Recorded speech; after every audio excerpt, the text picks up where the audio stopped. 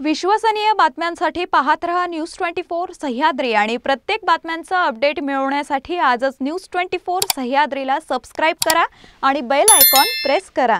Sahyadri superfast media partner Nagar Sahyadri associated by Sahyadri publication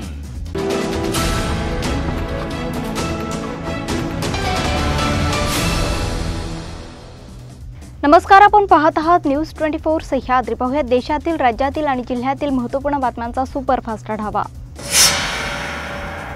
देशात सलग दुसऱ्या दिवशी चोवीस तासात दोन हजारांपेक्षा जास्त कोरोना रुग्णांची नोंद झाली आहे. तर गुरुवारी देशात दोन हजार तीनशे ऐंशी नवे रुग्ण आढळले असून एक हजार दोनशे एकतीस रुग्ण उपचारानंतर बरे झाले आहेत. देशात सध्याच्या घडीला तेरा हजार चारशे तेहतीस ॲक्टिव्ह रुग्ण आहेत. याआधी बुधवारी देशात दोन हजार सदुसष्ट नव्या रुग्णांची नोंद झाली होती. मंगळवारी एक हजार दोनशे सत्तेचाळीस रुग्ण आढळले असताना बुधवारी झालेली ही वाढ मोठी आहे. राज्याचे सामाजिक न्यायमंत्री आणि राष्ट्रवादी काँग्रेसचे नेते धनंजय मुंडे यांना त्यांच्या विरोधात बलात्काराची तक्रार दाखल करण्याची धमकी देऊन तब्बल पाच कोटी रुपयांची खंडणी मागून ब्लॅकमेल करणाऱ्या रेणू शर्मा या महिलेस इंदूरमधून अटक करण्यात आली आहे. आता मुंबई पोलीस रेणू शर्माला मुंबईत आणणार आहेत. जहांगीरपुरीत उसळलेल्या हिंसाचारानंतर दिल्ली महापालिकेने अतिक्रमणाविरोधात सुरू केलेल्या बुलडोझर कारवाईवर सुप्रीम कोर्टाने महत्त्वाचे निर्देश दिले आहे. पुढील दोन आठवडे कारवाई करण्यास सुप्रीम कोर्टाने स्थगिती दिली असून परिस्थिती जैसे थे ठेवण्यास सांगितले आहे. हा आदेश फक्त जहांगीरपूरपर्यंत मर्यादित आहे. कोरोना काळात एकीकडे सर्वसामान्य नागरिकांना रुग्णालयात बेड मिळवण्यासाठी धावाधाव करावी लागली असताना धक्कादायक माहिती समोर आली आहे. गेल्या दोन वर्षात कोरोना काळात राज्य सरकारमधील अठरा मंत्र्यांनी खासगी रुग्णालयात उपचार घेत लाखोंचा खर्च केल्याचं वृत्त समोर आलं आहे. उपचाराचा सर्व खर्च सरकारी तिजोरीतून भरण्यात आला ही माहिती समोर आल्यानंतर राज्यात एकच खळबळ उडाली आहे. नैसर्गिक वायू आणि खनिज तेलाच्या आंतरराष्ट्रीय किमती आणि त्या परिणामी देशांतर्गत उत्पादित किमतीतील वाढीतून घाऊक किमती निर्देशांकावर आधारित महागाई दर मार्चमध्ये चौदा पॉईंट पंचावन्न टक्के नोंदविला गेलाय. या वाढत्या महागाईच्या निर्देशांकासंदर्भात बोलताना केंद्रीय अर्थमंत्री निर्मला सीतारामन यांनी महागाई निर्देशांकामधील ही वाढ एवढी वाईट नाही असं म्हटलंय. निर्मला या सध्या वॉशिंग्टनमध्ये आंतरराष्ट्रीय नाणेनिधीने आणि जागतिक बँकेने आयोजित केलेल्या परिषदेमध्ये सहभागी झाल्या आहेत. तेथे बोलताना सीतारामन यांनी महागाई एवढी काही वाढलेली नाही असा सूर लावल्याचं दिसून आलंय.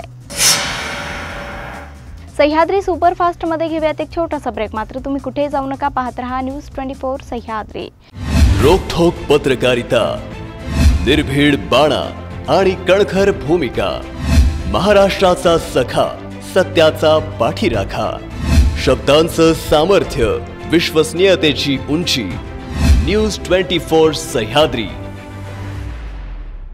ब्रेकनंतर पुन्हा एकदा आपले स्वागत पाहूयात पुढच्या बातम्या.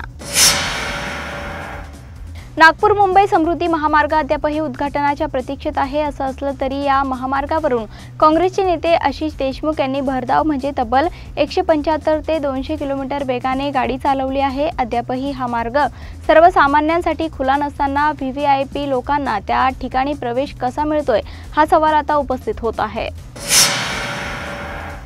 भारतीय शेअर बाजारातील सर्व शेअर्समध्ये आज वाढ झाल्याने शेअर बाजार चांगलंच वधारल्याचं दिसून आलंय. सलग दुसऱ्या दिवशी शेअर बाजारात वाढ झाली असून आज सेन्सेक्सनं आठशे चौऱ्याहत्तर अंकांनी वधारला तर निफ्टीही दोनशे छप्पन्न अंकांनी वधारला आहे. सेन्सेक्समध्ये एक पॉईंट त्रेपन्न टक्क्यांनी वाढ होऊन तो सत्तावन्न हजार नऊशे अकरावर पोहोचला आहे. तर निफ्टीमध्ये एक पॉईंट एकोणपन्नास टक्क्यांची वाढ होऊन तो सतरा हजार तीनशे ब्याण्णववर पोहोचला आहे.